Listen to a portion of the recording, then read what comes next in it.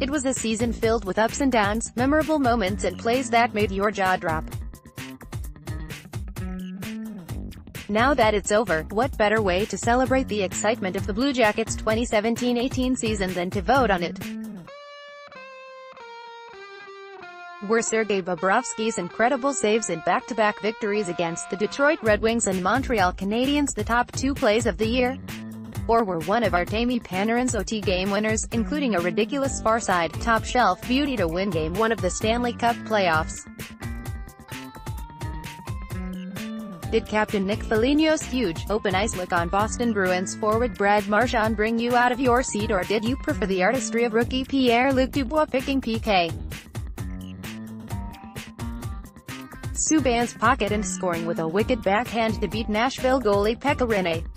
You decide, enter the Columbia Gas Play of the Year contest to determine the top play of the season and get a chance to win a team-signed Blue Jackets jersey.